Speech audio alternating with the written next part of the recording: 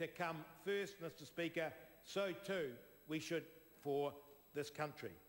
It's an exciting year for ACT, Mr Speaker.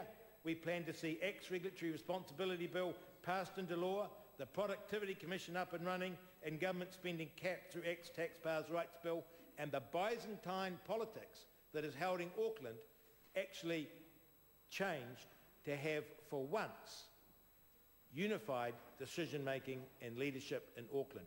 Thank you, Mr Speaker. The Honourable Tariana Turia. Mr Speaker, tēnā koe, tēnā tātou katoa.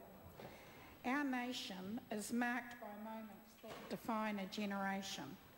There is the generation who paid the ultimate price of citizenship and serving in the C Company 28th Māori Battalion during World War II. The battalion was formed along, along whakapapa lines, drawing on the enduring connections from common lines of descent. A generation later,